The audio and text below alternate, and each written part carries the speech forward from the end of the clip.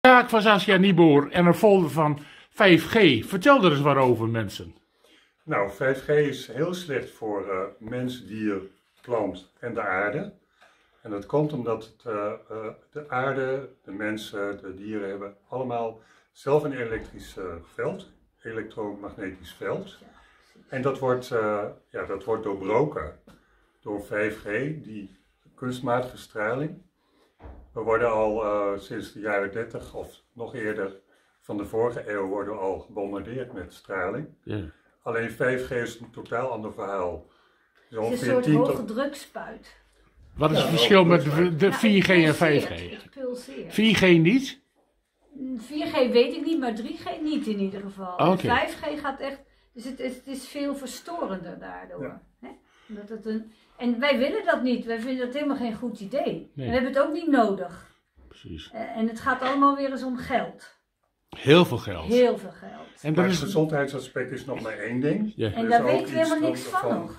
Dat het mogelijk is om uh, uh, mensen te controleren, zeg maar. Zoals in China op dit moment al gebeurt. Dat mensen krijgen daar punten.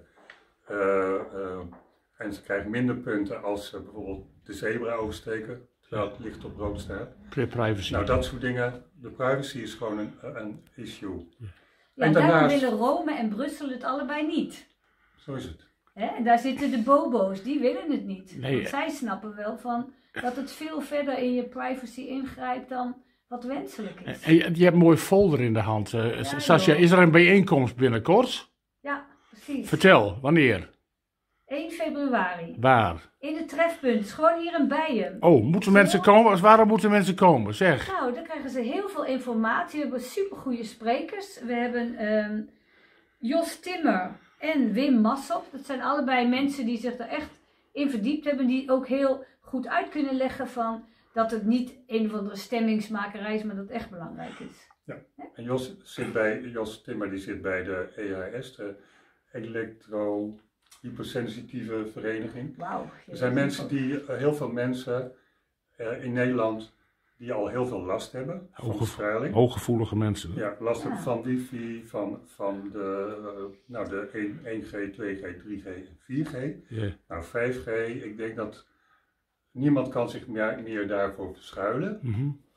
want er is geen enkele plek meer in Nederland, maar ook niet op de hele wereld. Als het doorgaat, maar het gaat natuurlijk niet door. Maar als het door zou gaan, dan heeft niemand meer een schouwplek om zonder straling te zijn. Nee. Weet je zeker dat het niet doorgaat? Is het te stoppen? Ik weet zeker dat, dat het niet doorgaat, omdat heel veel mensen in zet komen. En aanstaande zaterdag... 25 uh, januari. In Amsterdam, hè? Ja, dan, dan gaan we naar Amsterdam. Ja, ga je, jullie gaan er ook heen? Ja, ja, ja. Het is een internationale, internationale protestdag. Over de hele wereld gaan mensen protesteren. Hè? Want er is helemaal niet over gepraat. We zijn niet gevraagd. En niemand weet ook waar al die energie vandaan moet komen voor 5G. Is, is het de strijd tussen de gewone mensen en het grote geld? Waar je het zo, benoemt? Voor een deel zeker, maar het gaat nog, ook nog verder. Gaat, want we weten ook niet hoe de bijen gaan reageren hoe de vogels gaan reageren, hoe de planten gaan reageren en wat de aarde zelf nog aan kan aan straling, weet je. Jullie maken je zorgen, hè? Behoorlijk. Ja, behoorlijk. Ja. Bijen bijvoorbeeld zijn hè, essentieel voor onze uh, gewas. Ja, als die hun korf niet meer kunnen vinden omdat hun elektromagnetisch veld de hele tijd verstoord wordt, dat gebeurt nu al. Yeah. En dat wordt voorzien dat dat allemaal veel erger wordt. Nou, zonder bijen zijn, zijn we echt uh, heel slecht eraan toe. Nog dus wij willen dat gewoon allemaal houden. Nog iets aan toe te voegen? Komen op 1 februari. Dank u wel. Twee uur, half twee. Heel veel succes.